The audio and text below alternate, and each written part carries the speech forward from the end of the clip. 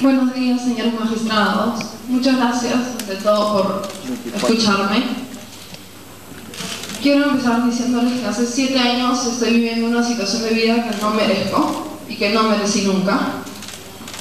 Eh, he pasado los últimos días porque sé que probablemente esta sea la única oportunidad en mi vida que tenga de hablar frente a frente con ustedes pensando en, qué decirles, en qué en parte durante el juicio puede no haber quedado clara sobre mi inocencia.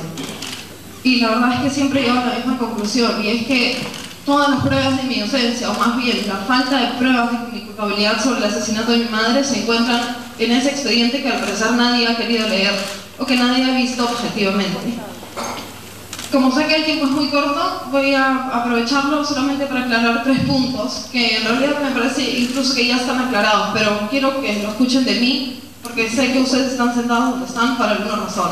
Y quiero que ustedes me vean y ustedes mismos, por lo que ustedes ven y escuchan, sepan, o por intuición, o por lo que escuchan, por el expediente, por lo que sea, si es que yo soy realmente culpable de haber matado a mi madre.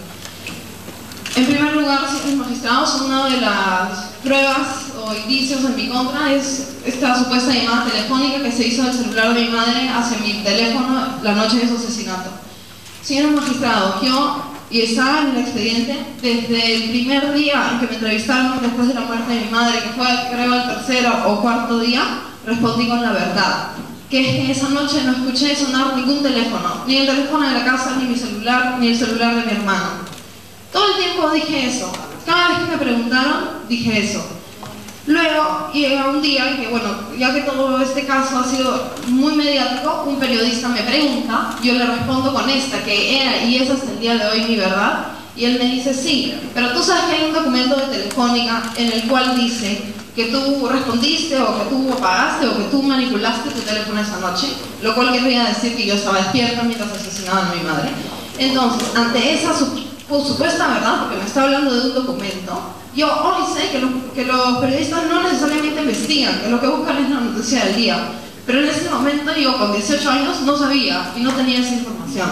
Entonces yo basándome en ese supuesto documento que existía, dije esta segunda respuesta, que fue, bueno, lo único que puedo es que por el modelo de mi celular habré levantado la tapa, porque habrá sonado y yo medio dormí, habré levantado la tapa y luego la habré bajado. Y esa es la única forma que tengo de explicar esos supuestos dos segundos. Hasta el día de hoy, mi verdad es la misma, señores magistrados. Yo nunca respondí, nunca levanté la tapa, yo no recuerdo haber hecho nada de eso. Yo dije eso solamente porque me dijeron que había un documento de Telefónica que afirmaba que yo había manipulado mi teléfono. Hoy, después del juicio, sabemos que ese documento fue mal entendido o, estaba mal o no existió o que bueno, no fue así. Por lo tanto yo regreso a, mi verdad, que es que yo no respondí ninguna llamada, señores magistrados. En segundo lugar, y me imagino que me queda poquitísimo tiempo, eh, también se ha hablado en la sentencia de los perros, de que yo saqué a uno de los perros del cuarto. Señores magistrados, esa noche había cuatro perros en mi casa, como siempre. Dos durmieron conmigo, que son los que siempre durmieron conmigo. La perrita de mi madre durmió con ella y amaneció con ella como siempre y la de mi hermano durmió también donde siempre dormía. Esa noche no ocurrió nada raro. Y mi último punto, señores magistrados, es el de, que es el, que a mí más me preocupa personalmente, el de las clases de francés. En primer lugar, señores magistrados, ese informe que se ha emitido de la Alianza Francesa, en el cual dice que no, eh, no acostumbra dejar ese tipo de trabajos, no fue emitido por la profesora que me enseñó durante la época en que yo estudié ahí. Ha sido emitido por una persona que yo no conozco. En segundo lugar, señores magistrados, yo fui yo quien declaró eso a los tres o cuatro días de la muerte de mi madre, que yo había bajado a las diez y media de la mañana a buscar estos recortes. Yo no tenía testigos de esto, yo pude no decirlo, si es que hubiese tenido algún interés, pero en ese, en ese momento para mí el interés era saber quién asesinó a mi madre y por qué. Es para esto que yo di esta información, por si podía servir de algo. Yo subí del garaje a las 10 y media, bueno, de la cocina a las 10 y media, dejando a mi, mamá, a mi mamá viva en la cocina. Si en ese lapso de tiempo yo me hubiese dedicado a quitar todos los seguros que era necesario quitar para que el asesino de mi madre entre hasta su dormitorio, mi madre lo hubiese visto, porque estaba ahí. Y esto lo he declarado yo, no, no meses, ni años después, ni teniendo un abogado. Lo declaré a los tres días, cuando aún ni tenía un abogado, ni había preparado ninguna defensa.